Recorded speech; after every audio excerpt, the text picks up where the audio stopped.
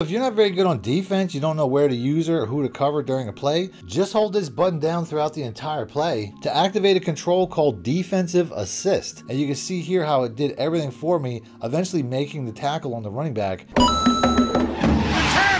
If you guys are looking for fast, cheap, reliable coins for your college football 25 team, check out my coin sponsors at MMOEXP and use discount code MONEYSHOT for 5% off your order. Link in the description below. The champ is here! Welcome back, Money Team. College Football 25 is the first EA Sports college football game in over a decade. And since there's no real tutorials in this game, there's a ton of hidden features that it might take you a while to find. So in today's video, I'm going to break all this down, starting off with some things you can do in the settings. But before I do, if you guys learn anything new from this video, please make sure to be a subscriber, hit the like button, let me know in the comment section. And if you need more help, you can download my ebooks instantly simply by clicking the links in the description or the top pinned comment. For my first tip, if you're struggling with the new kicking meter, and I know a lot of you are, because the game's been out for over a week and a half, and every single time I go into a game, people are still missing easy extra points and short field goals, as well as kicking the ball out of bounds. If you've been playing Madden for the last several years and you want to go back to that old style, all you have to do is go over to the Game Settings tab and then scroll down to where it says kicking control scheme and you can change it from tap and hold what it's currently on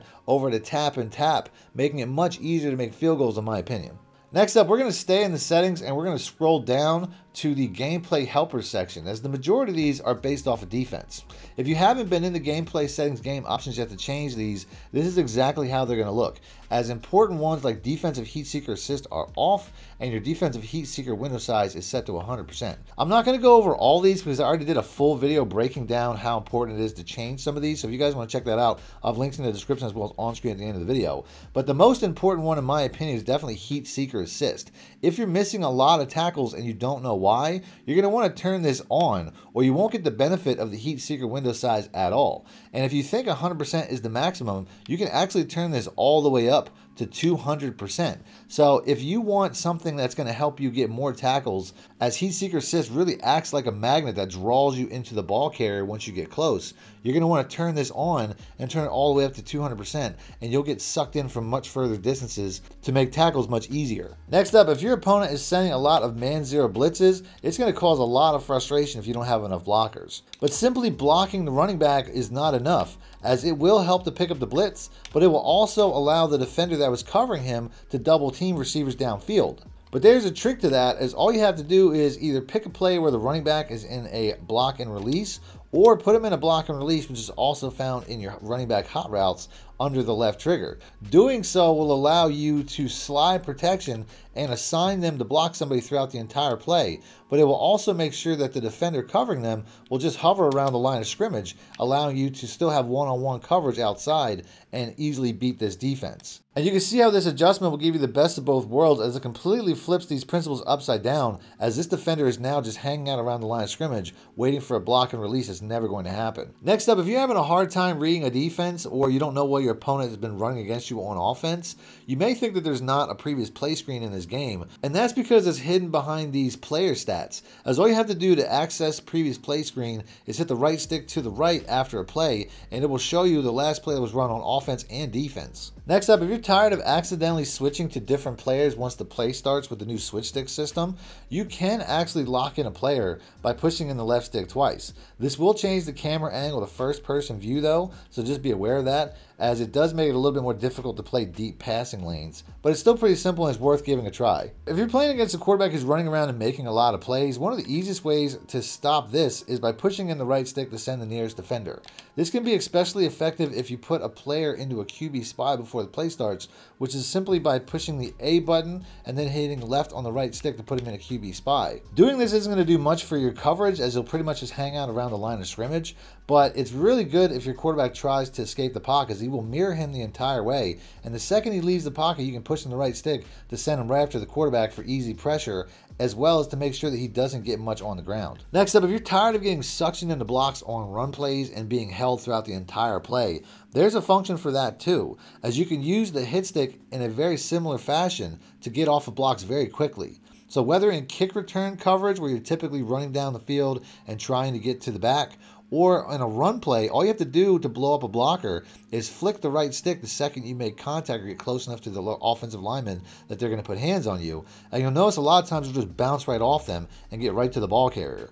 Just make sure not to hold it too long as you might accidentally do a cut stick function taking the player completely out of the play. Next up, matching style defenses can be problematic as a lot of times the deep safeties and deep coverage cornerbacks can get confused and let up easy one play touchdowns. And that's because these quarter defenders are responsible to these areas similar to man coverage. So a lot of times they'll get drawn out of their area very easily. But if you want to change it, you have some options. You could play underneath, which is simply hitting the wide triangle button and down the right stick, and it will turn these quarter flats into hard flats.